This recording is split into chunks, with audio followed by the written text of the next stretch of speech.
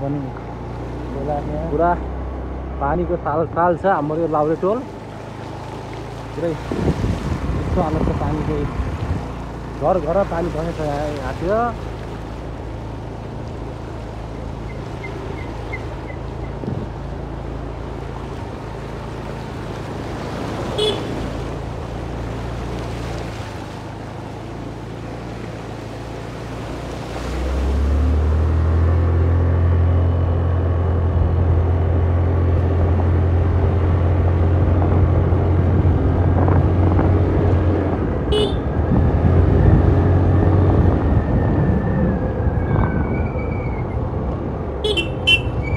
यहाँबाट चाहिँ नालाको काम सुरु भएको छ होइन? अब नाला कहाँसम्म खनेको त नि? त्यो पनि हेरौँ।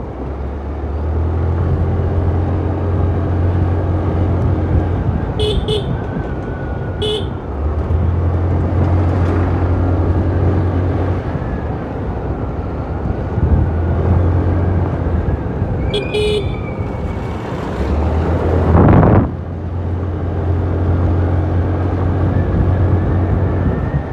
ठ्याक्कै हाम्रो यो खेम्पुन अङ्कलको घरसम्म खन्दै रहेछ होइन?